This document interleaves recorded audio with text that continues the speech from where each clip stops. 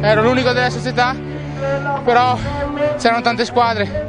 Sono rimasto dietro a osservare gli altri, hanno deciso di arrivare in volata e mi sono giocato la mia e è andata bene, dai.